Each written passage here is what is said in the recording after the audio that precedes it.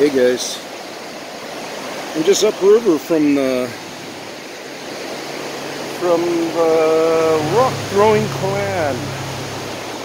And thought I'd just stop and check it out before I'm going for my live here.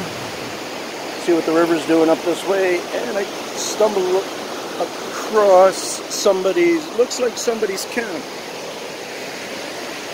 Looks like it was was somebody's camp I should say same time, it doesn't mean that this stuff hasn't all been brought here. Let's just take a look around and see if we can really come to a feeling of camp. A true camp. That's a pretty nifty uh, tarp. And then it looks like somebody had a bunch of foam, whoops, a bunch of foam for keeping themselves somewhat warm from the ground or something. So yeah, I'm saying it likely is, but it's been destroyed. Just trying to see if there's any foot patterns there too. What's this little thing? Remote controllers on. Oh, look at that. Shingles for a base. Wow. Somebody put some good thought into this. That's a nice tarp.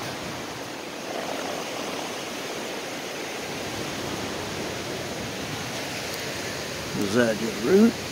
Yeah, it's just, uh...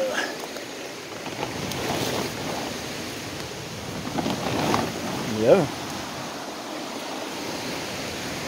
Alrighty, alrighty, alrighty.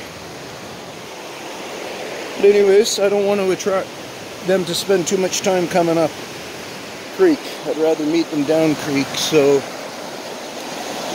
you can see some bare spots around where in the leafing it looks like maybe even somebody came in just before me or something and was doing something. Like that's one of the scuffs right there from the other side. You would see that it, uh, you can see a scuff in it. You know, for these guys to leave scuffs, in most cases, they're doing it on purpose. Would that ever be a fun little ride for the guys that are into that uh, kind of uh, kayaking? Probably not too crazy, but it's a nice, pretty beginner spot. Very nice. Give us a little zoom down that way, maybe. Oh, why don't I do, do a zoom this way then, eh?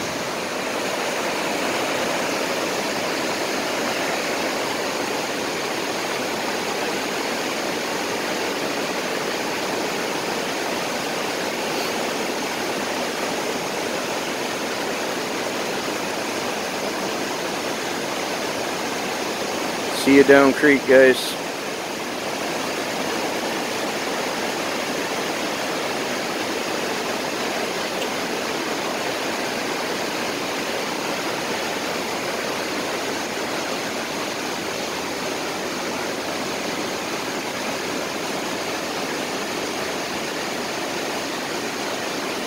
Cheers to all.